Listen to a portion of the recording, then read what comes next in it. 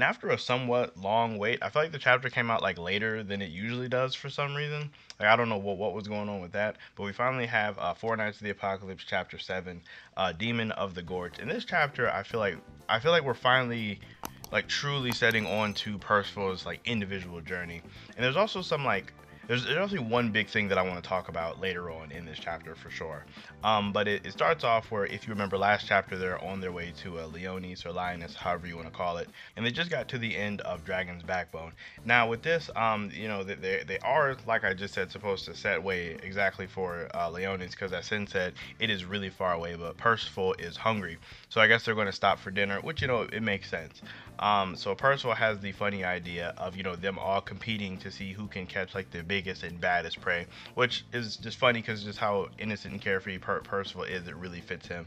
Uh, like little moments like these do make the story just kind of that much more funnier to me personally. I also think it's really funny that like before Percival sets out, like he has his bow and arrow, and like Donny just like he's like nah, he's like give me that. it's like you can't be trusted, and it's really funny because like it, it, uh, if you re- remember, Percival's like a like awful shot, like he can't hit anything. Like Percival's so bad that his arrows curve back around and hit targets behind him, so he's he's he's really bad. So basically, while they're hunting, Percival finds you know the giant gorge where he hears a lots of, of like echoes. So Percival's playing around in there while Donny and Sin hunt on their own.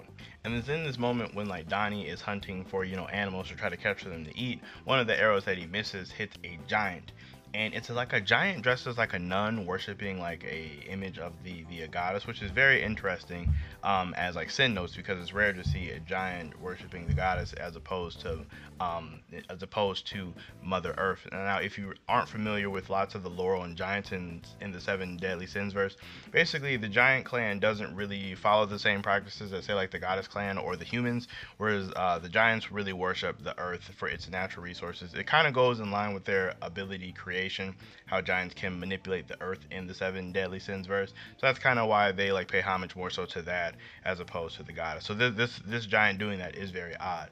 And then another thing that makes it even crazier is when some fairies come in and they scream the giant's name is uh, Dolores. Now, I'm pretty sure not uh, very many people remember this at all, but Dolores was the name of one of the, uh, Diane's friends back when she was still with uh, Matrona. Like I, she kind of looks different in, in, in, here. Like she, she definitely looks different because she looks much smaller, but at the same time, the name is still the, the same.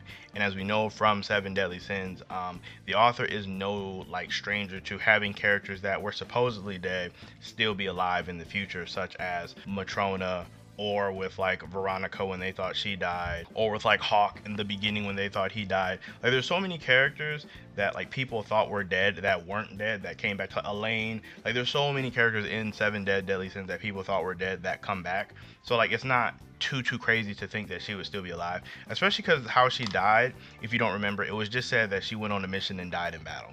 So it's like there weren't really any explicit details on what exactly happened. So to bring her back would kind of make it like like there would be a window for it. So I I mean I'm I think it could be her. I mean there's all chance it could just be a giant with the same name, but I feel like that's really really rare. It'd be really unlikely. So I'm, I'm going for this as uh, Diane's childhood friend. Yes, but the fairies are basically telling them that there is a strange kid in the gorge, which is obviously Percival. And Percival in the gorge is really funny because he's having a field day. Like he's just beating up all these like creepy animals and monsters. Like he's just knocking them out. He's like, this place is like amazing. And because when, when Percival's powerful, he's not even using his magic. He's just knocking them out with just his raw physical power, uh, which is just crazy. Um, but in the distance, Percival does hear somebody asking for help, and then we get this flash of um, what I'm assuming is a fairy uh, by a person. And then as it flashes back over, which is like one thing I, will say about this chapter, I, I, do like it when like stories split up between like one uh, between like two or three groups, and we kind of like get to flash back and forth between them as things are happening. Like I kind of like how that goes on.